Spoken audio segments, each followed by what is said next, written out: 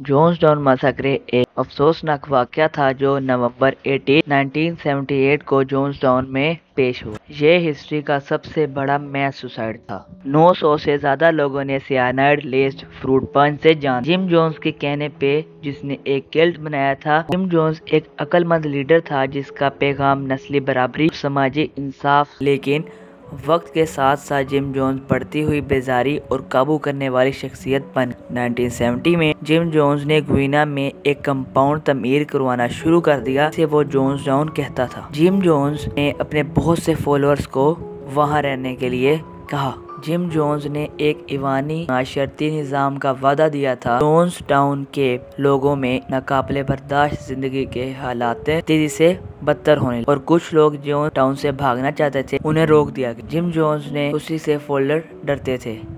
वो उन्हें बहुत बुरी तरह मारता था। 18 नवंबर को कल्ट के लीडर जिम जोन ने सैनाइड डेज़ फ्रूट पंच लोगों को दिया और कहा कि इसे कंज्यूम करो और कहा कि आज तुम लोगों का यहाँ आखिरी दिन है। लोगों को लगा कि अब वो यहाँ से आज़ाद हो जाएँगे और उन्होंने वो पी लिया। ये वाक्य आज भी एक दिल दुखाने वाला और सोचने पर मजबूर करने वाला है, जिसने माँ बाप भाई बहन और फ्रेंड्स को खो देने का दुख दिया।